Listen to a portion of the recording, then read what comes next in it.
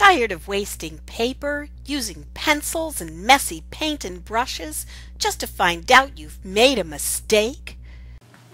I have an idea. Why don't you use Glogster? Yes, Glogster for Education, the amazing online resource for making exciting interactive posters. You won't believe how easy it is to use. Graphics, text boxes, backgrounds from an extensive media library with just a click of your mouse. Not enough for you? Well, listen to this. You can upload your favorite video clips, songs, photos, and much, much more. Use it all to create fabulous posters with their own web address. It's like having your own website. Bring the world into your project with Glogster. It's absolutely free. Yes, I said free. Don't waste another minute. Just visit edu.glogster.com to get started today.